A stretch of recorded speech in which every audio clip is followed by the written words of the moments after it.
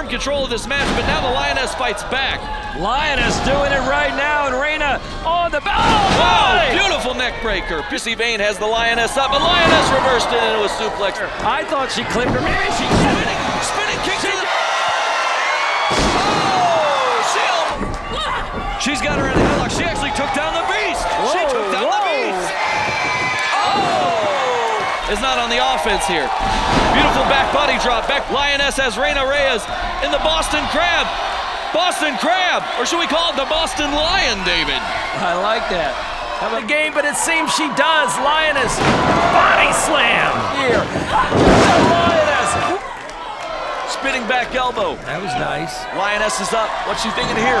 What a Beautiful